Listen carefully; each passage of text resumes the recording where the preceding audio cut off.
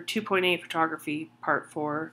So there's a difference here between photo collage and photo montage. Sometimes you do hear these interchanged, um, but our book's making a really clear distinction and trying to get you to understand the difference. So a, a photo collage, just think collage, very similar to the Wangechi Mutu piece where you'd cut up a bunch of images and paste them together. A photo mont- montage is meant to look like a whole image, and we're going to look at some examples here but fragments of a separate materials, um, photo-based and pre-printed, are glued together. That is a collage, and then uh, photo montage are meant to be reproduced. And that's a little bit blurry, but let's get into this idea. So remember I said right from the beginning of photography, here we are at 1857, beginning of photography, um, we're thinking of making a painting or a dramatic scene like a play um, that is true. So what what this is is a montage, meaning a bunch of images at once. French word. French.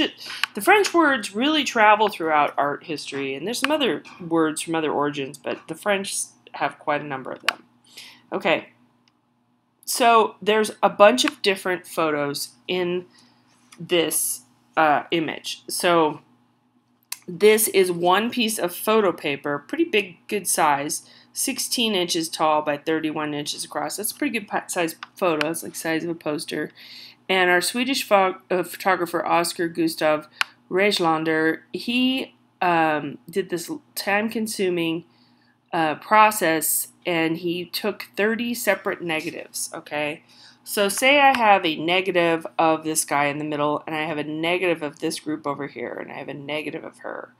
I'm going to expose each one on the piece of paper very carefully and block out the rest of the paper and then move move across or however he wanted to do it. I don't exactly know top to bottom, side to side, something like that. And he's composing all these images. So he took all these people, these photographs of these people, maybe not in this backdrop at all. The backdrop might have been totally separate. Some people might have been part of the backdrop. If you think back to that cartoon that we looked at of that uh, fresco way back. Um, parts are parts are done in the background first, and then you get into the foreground, if that makes sense. So he layered a lot of this stuff and cut around, but he took a long time to do it. Some artists, uh, some photo artists, still kind of do this thing today. Um, and even when we think about photoshopping, you know, putting a different head on a different body or something like that, that kind of thing happens. But that wasn't really his his thought, his idea was two ways of life, sort of a religious painting here, and um, he combined all these images to make one image. Now he's printing it on a negative, and perhaps he's going to um, copy this again and distribute multiples of this. He might rephotograph it with all of the images layered in and then print that photograph. But this was made up of separate images. I don't exactly know why but that is how he did it. So he's emulating the appearance of process of painting. He's wanting to get that same respect, if that makes sense. So he cut them out like puzzle pieces and exposed them onto the piece of paper one at a time. Uh, we didn't look at, oh, we are going to look at, okay, we skipped. All right. Um, Loretta Lux, now these are slightly disturbing, and part of the reason is she's playing with scale and proportion here she is digitally altering her images and she does it really slowly and carefully. She simplifies her compositions. There's usually not a ton of stuff going on, but in this case, we just have this very formal looking. Uh, I don't know if that's Louis the 14th or Louis the 16th, but it's a very uh, fussy French provincial look, or it's not provincial, but a French um, uh, piece here, furniture piece and she's sitting here very formally in her little dress, kind of almost uniform like, with her hair pulled back, very serious face. The kitten's a wee, a wee bit playful. But what, what Loretta Lux tends to do, and you will see these photographs because she's a working artist now, this is 2006, and I come across her quite frequently. Um, the Riverside Museum of Art tends to show her work, I believe, because it focuses on photography, but you'll see this in any major museum. So she's taken the head and made it slightly larger to make her doll-like. And I don't know exactly what other changes that she's made, but um, she alters it to sort of make a more disturbing look to it. Um, she's trying to get you to sort of think about the the uh, emotion or the otherworldliness of it. So I find these really disturbing. I always kind of react strangely to these, um, but it, it's it, that's her point. That's what she's trying to do is make you kind of think about this. It's almost surrealist if if you understand that. Like it's a little bit connecting this larger head with this smaller body. She takes these kids, her friends' kids, and sort of you know stages this. So this is highly staged and it's digitally altered. Okay, Hannah Höch, uh, German artist. So we get into this piece. This is uh, often a, an essay question. I didn't do it this time, but um, this is an amazing piece uh, that was done in 1919, just after World War One. But the seeds of World War II are already being sown, and she's commenting on it here. It's a little bit confusing here. But this is cut up into quadrants, and if you watch the Khan um, video KA HN um, Academy video on this. It's I, I think they do a great job. So what she's doing is called Dadaism, and we'll get more into this uh, quite soon. But she's one of the early Dadaists. And what Dadaism is, is to be nonsensical. So she's using collage to make this sort of um, bunch of different things happening that don't make sense. And then she's putting Dada in there. Um, I don't know if she cut that word off as something, but Dadaism was already sort of around and getting published in newspapers, so then she's cutting that out. This is pretty much all cut from newspapers. So a few things are happening here. Picasso already does collage a few years earlier, taking pieces of newspaper like Gillette ads or other advertisements and pasting them into his paintings. And so now we're going a little step further. There's more photography all the time in newspapers, and there's more newspapers all the time uh, being printed kind of rapidly because it was the only news medium at this time. So uh, they'd print like two or three editions a day, and then you'd have this stack of newspapers. So it was ready material to be cut up. In her case, she's using those materials to make a political comment on what is happening at the time. So back to our, we'll start with the Industrial Revolution, like the gears and all this machinery going on here, ball bearings and this little thing, ball bearings here.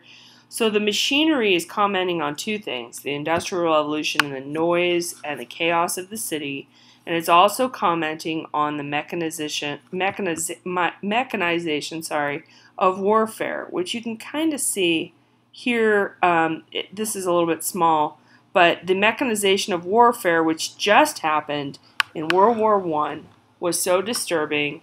Um, the wholesale slaughter, the, the, the numbers of death uh, were, were much higher because of this mechanization. And if you go back to the Civil War, you know, 40, 50 years earlier, that is also true where the style of engagement of troops, people, the, the soldiers, doesn't match the ability of the machinery, meaning the guns or the um, heavy artillery or the gas or the aerial bombing. Those things, Civil War doesn't have aerial bombing, don't get confused. This is the beginning of aerial, aerial bombing, World War One. Those things don't match with how people are trying to defend themselves. So the casualties, the numbers of death uh, of, of the, the war dead are astronomically high, something like uh, 8 million people. I believe it's more than that. But a huge number of the population was uh, killed, mostly young men. And um, World War One, sort of the reaction to World War One with a lot of artists was this um, commentary on cruelty and showing all this dis- disjointed imagery. Cubism is one of those. It, uh, it, has to do with Einstein, but it also has to do with the disjointed reality these people are living at this time. Okay, hundred years old, uh, way back. The social changes, the norms of noise levels, and um, mechanized death. You know, in the warfare, those are all things she's commenting on. Now, up here are the anti. You can see big letters, the anti Dada are here, and there are a variety of names and faces here.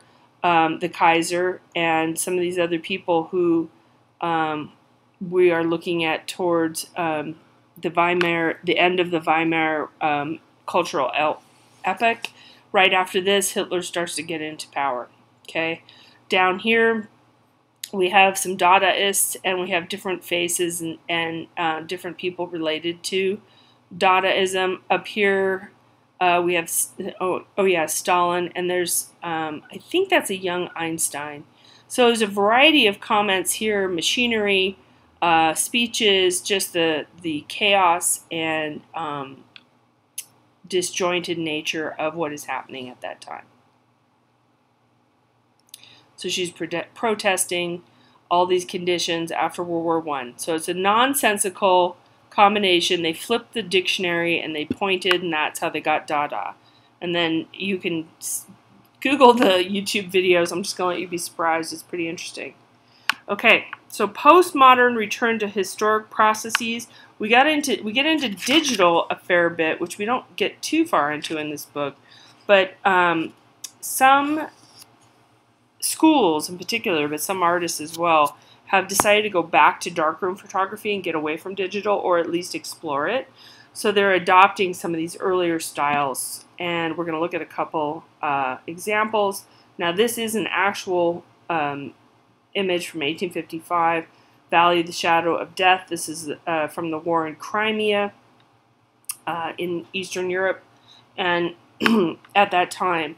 So uh, we're not sure of the, the veracity, meaning the truthfulness of these cannonballs. We think they may have been put there later uh, to make a good photograph and to show that there's just nothing left. Um, don't know for sure on this, um, but what we were looking at is um, salted paper prints from a paper negative. So that's one technique we're looking at. This is Sally Mann working today, and I believe she's still using this very same technique. and it's a wet process where you can kind of see the wateriness of the imagery. The trees look pretty um, uh, stable, but a lot of the sky is watery, and she really loves this technique.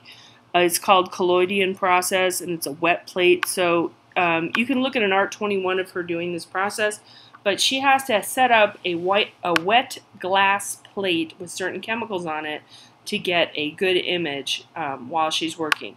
This particular one is at Fredericksburg, and so she's commemorating a uh, Civil War battlefield, and she wanted to take it with this uh, method that was contemporary to the time of the Civil War, the collodion wet process.